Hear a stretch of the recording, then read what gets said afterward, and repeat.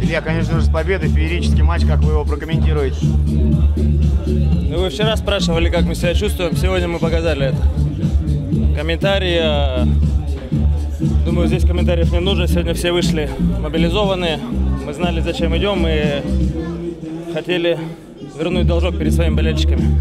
После пропущенной шайбы показалось, что еще больше разозлились. Ну, наверное, так и было. А Сегодня ваше звено просто феерило на льду. Настолько хотели вот заработать много оч- очков, забить много голов. Нет, мы играем на команду и стараемся, чтобы команда выиграла, чтобы делать полезные вещи для команды. У нас есть задача, мы ее стараемся выполнять, поэтому никаких личных амбиций здесь не должно быть, иначе мы ничего не добьемся. Такая крупная победа, она придаст уверенности? Надеюсь, что да. Дальше будет видно. Но Уфа-арене Салават Юлаев еще так крупно не выигрывал. Вы об этом знали? Нет, впервые знаю. Но это хорошо. Приятно делать рекорды. Для этого и существуют рекорды, чтобы их э, творить, да, поэтому рады, что сегодня так все получилось. И надеюсь, будет, будет все хорошо и дальше будем работать. У вас уже пять результативных передач на старте чемпионата.